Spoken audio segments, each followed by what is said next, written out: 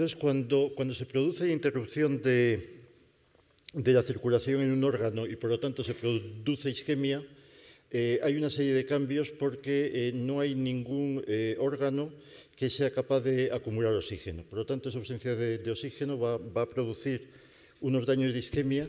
y después cuando, vuelve, cuando se, se vuelve a perfundir el órgano, se va a producir una serie de, de, daños por reperfusión. Entonces, en, en cirugía cardíaca, para, eh, cuando se inició la cirugía cardíaca con circulación extracorpórea, eh, se vio que periodos de isquemia mayores de 20 minutos producían un daño irreversible y que ese corazón, cuando, eh, cuando se intentaba desconectar de la circulación extracorpórea, no era posible. Y entonces eh, la, eh, la, primera aproximación que se hizo para prolongar ese tiempo era introducir eh, suelo frío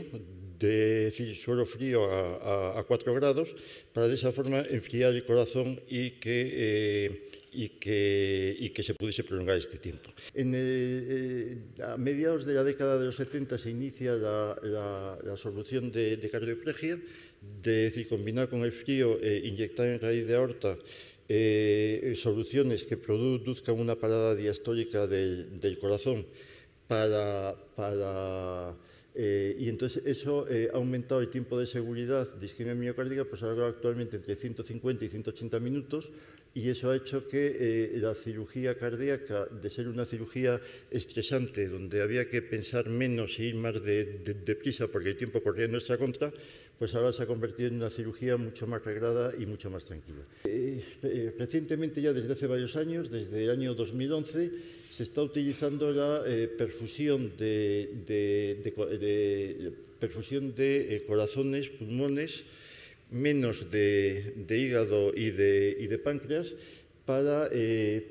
para conseguir una, una, conservación, una preservación mejor y poder tener más tiempo. Recuerde que allá por 1988 nosotros eh, eh, desarrollamos y publicamos un sistema de perfusión. En realidad este estudio lo empezamos en 1982 y fue el paso previo, eh, como la parte experimental, el paso previo eh, a iniciar el programa de trasplante cardíaco en, en Pamplona, en la clínica universitaria, que eh, lo iniciamos en 1984.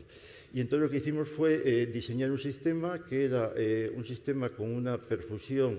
eh, perfusión de una solución relativamente extracelular, ligeramente hiperosmolar, eh, eh, con una presión de oxígeno pues, entre 500 y 70 milímetros de mercurio y una presión de anhídrido carbónico entre 25 y 30 milímetros de, de, de, mercurio y esa perfusión a baja presión con un sistema de eh, bomba de rodillo que recuperaba del reservorio y volvía, y volvía a, a, a llevarlo al reservorio superior.